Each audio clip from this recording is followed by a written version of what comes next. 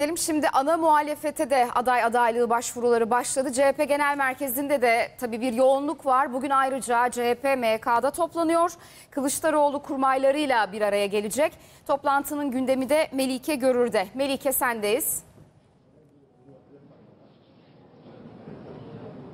Sema Şahin isterseniz ilk olarak milletvekili aday adaylığı başvurularıyla başlayalım. Bugün başvurular başladı ve ilk olarak genel merkezin giriş alanında bulunan alandan dosya alınıyor. Nakit 3 bin lira karşılığında ardından da bu bö- gördüğünüz alana bulunduğumuz alana geliyorlar. İlk olarak da üyelik takip bölümüne geliyor aday adayı olmak isteyenler. Eğer CHP üyesi değilse burada üyeliği gerçekleştiriliyor. Çünkü eğer üye değilse milletvekili aday adayı olunamıyor. Sonrasında da aday adayı başvuru evrakları alım bölümü var. Burada da aday adayı olmak isteyenler başvuru formlarını dolduruyorlar ve tabii belli standartlarda belirlendi, şartlar belirlendi. 30 bin lira olarak belirlendi başvuru ücreti. Kadınlar, gençler ve %40 veya üzeri engeli bulunanlar da 15 bin lira ödeyecek. Ayrıca Malatya, Osmaniye, Kahramanmaraş, Gaziantep, Adıyaman ve Hatay'da başvuru yapacak aday adaylarından da ücret alınmayacak. Başvurular bugün başladı ve 20 Mart'ta sona erecek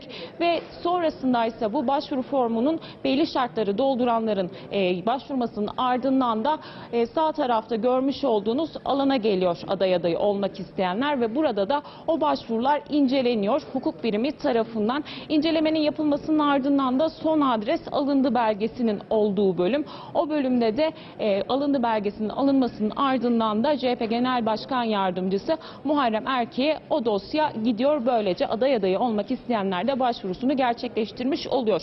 Bugün de PM, e, dün de PM toplanmıştı CHP'de ve o PM'den de e, milletvekili süreciyle ilgili merkez yoklaması yapılması kararı alındı. Yani ön seçim olmayacak ve genel başkan karar verecek. MYK üyeleri buna karar verecekler. Bugün de MYK toplanıyor saatler 14'ü gösterdiğinde. Gündemde yine milletvekili seçimleri olacak. Çünkü Cumhurbaşkanı adayı CHP lideri Kemal Kılıçdaroğlu oldu ve bundan sonraki süreçte aslında altılı masa içerisinde nasıl listelerle gidileceği e, aslında e, Millet İttifakı içinde ittifak modelini de Saadet Partisi Genel Başkanı Temel Karamollaoğlu gündeme getirdi ve bundan sonraki süreçte nasıl işleyecek tüm bunlar bugün MYK'da saatler 14'ü gösterdiğinde konuşulacak. 14'ün ardından MYK'nın toplanmasının ardından da parti sözcüsü Faik Öztürk'ün açıklama yapmasını bekliyoruz.